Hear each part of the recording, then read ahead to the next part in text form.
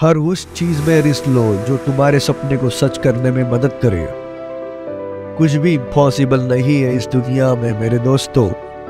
या तो आपकी संगत बुरी है, या आपकी सोच छोटी है।